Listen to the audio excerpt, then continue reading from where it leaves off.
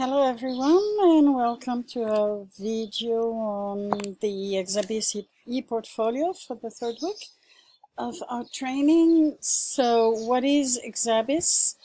Um, Exabis, it's one of the blocks you have on the, well, one of the blocks you have on your front page. And you can see that in the portfolio you can put your CV, some artifacts, some views, you can share views, you have categories, and you have the importing export. So for today, what I would like to do is try to uh, export a document from a discussion to my to my portfolio. Then I will uh, um, so I will try to export it directly to my portfolio. I can also export it to my Google Drive, for example, on my computer, and from Google Drive back to the Exabis portfolio, right? So I've already done it, but let me see if I can remember all the steps.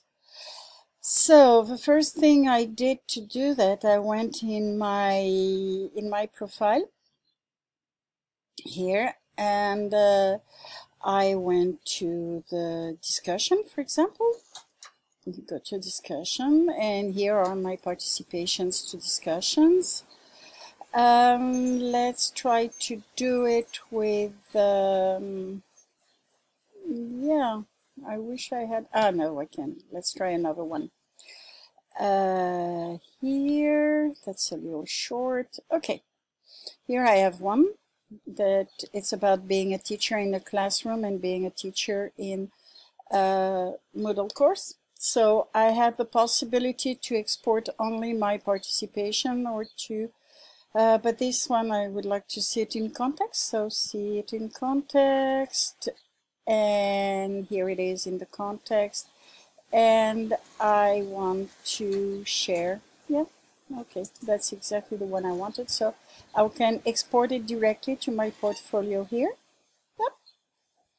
and I get to this exporting to portfolio page where I have a choice. I can export it as a block direct to my portfolio. I can uh, export it as a file to my computer and I export it to Google Docs. Let's try to uh, do it to Google Docs. Here we go. And I click on, oops, sorry for the uh, for the framing, I click on next here. Next. Okay, and it should be in my Google Docs. Mm -hmm. Let's try where are my Google Docs right here. These are my Google Docs. You see that I have a post here. It probably is, it looks a little strange, but if I open it with Google Docs, it should be in the right format. Yes, here we have it in the Google Docs. Okay, now let's go back and try to export this uh, Google Docs to my portfolio. Okay, so in this case I will go to my portfolio. No, sorry.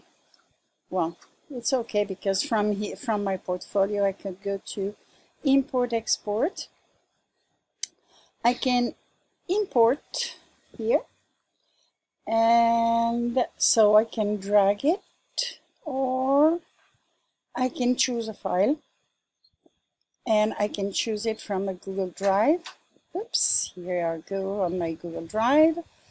Uh, too much so let's try with the last modified to see where it is. Here it is. Got it.